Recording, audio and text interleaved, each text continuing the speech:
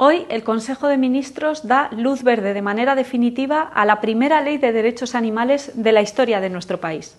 Muchos recordaréis esas terribles imágenes de un maltratador que ahogó viva a una cría de jabalí o gente que quema vivo a un zorro y lo sube a las redes sociales. Hasta ahora estas acciones no tenían ningún reproche penal. Con esta ley vamos a acabar con la impunidad de los maltratadores de animales y sus penas de cárcel podrán llegar hasta los 36 meses.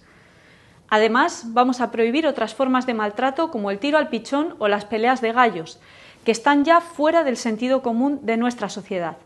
Las multas en estos casos podrán llegar hasta los 200.000 euros. Nuestro país tiene un problema también muy serio de abandono. El año pasado, más de 285.000 perros y gatos llegaron a las protectoras.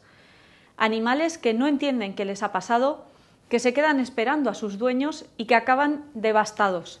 Un país democrático que quiere y que cuida a sus animales no se puede permitir estas cifras.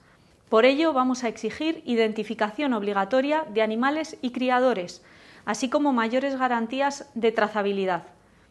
No queremos más camadas abandonadas ni perros que mueren esperando a que su dueño vuelva.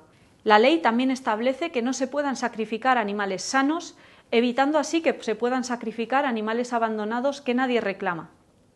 Prohibimos también los circos con animales salvajes y vamos a reconvertir los zoológicos y los delfinarios en lugares para la conservación de especies, para que nuestros hijos y nuestras hijas aprendan que nuestra labor es cuidarlos y protegerlos.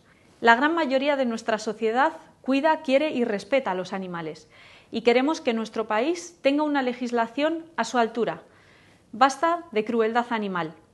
Hoy es un día muy importante para este Ministerio y quiero dar las gracias de todo corazón a todos los y las profesionales y los y las activistas que llevan muchos años luchando por los derechos de los animales en España. Gracias por todo el apoyo para sacar esta ley que nos hace más humanos. Seguimos avanzando juntas hacia ese país que ama y que cuida a los animales.